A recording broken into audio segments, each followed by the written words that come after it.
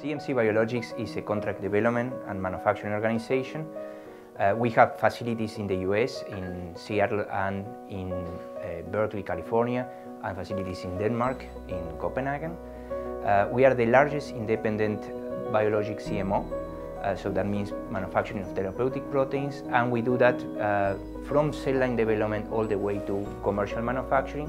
Our services span from uh, cell line development with our proprietary system and other systems, uh, process development, analytical development, formulation development, clinical manufacturing, obviously commercial manufacturing, and we have facilities approved by FDA and EMA for uh, services to our customers. Well, we have uh, decided to invest in single-use technology very early on in 2009 and we see this technology as a significant advantage for us as a supplier but also for our customers.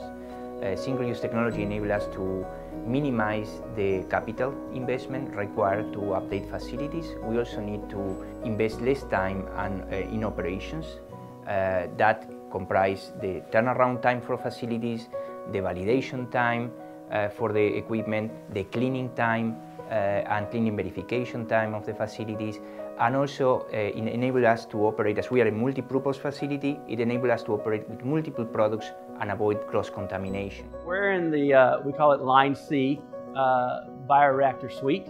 It's where we have our bioreactor six-pack uh, set up. We actually have a 500 liter N minus 2 bioreactor, a 2000 liter N minus 1 bioreactor, and six N-stage bioreactors, all 2,000 liter single-use bioreactors by Thermo Fisher. The concept actually started on a napkin, believe it or not we were approached by a customer and they needed to rapidly increase our capacity to meet their potential commercial needs.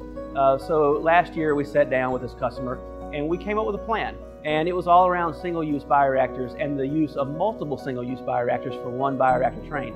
Uh, then we went to Thermo Fisher, who's been a partner for quite a while with us, and we sat down with that team and we mapped out using their single-use technology in our facility to get 12,000 liters of capacity. For us, uh, the way we approach customers with the, the six-pack bioreactor is actually a, a, modular approach. So we can uh, ramp up anywhere from 2,000 liters to 12,000 liters for a customer, all based in this one room.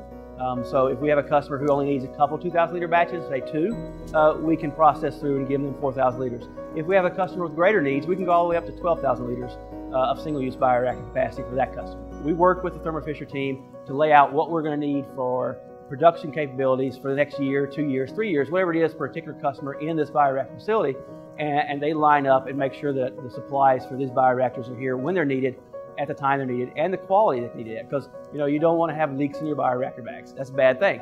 And, and they've done a lot of work over the years to make sure that their single-use bioreactor bags perform very well for us. Assurance of supply for CMC Biologics is absolutely essential.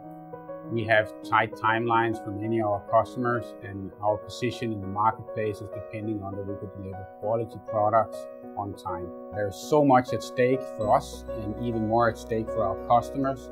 So reliability with, with regards to timing and, and quality is, is everything. It's our reputation in the market and it's, it's the, the timelines uh, for the customers.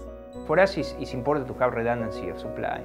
Uh, when you commit to some elements that are supplied only by, by one supplier, you need to have a kind of a backup, a fallback position, you know, in case issues uh, arise. Having manufacturers that have manufacturing capabilities in the US and Europe, for example, provide that ability to have the redundancy, even if you have only one supplier, the redundancy supply. And Thermo Fisher has been one of the suppliers that had that capability of supplying us either from one side or the other.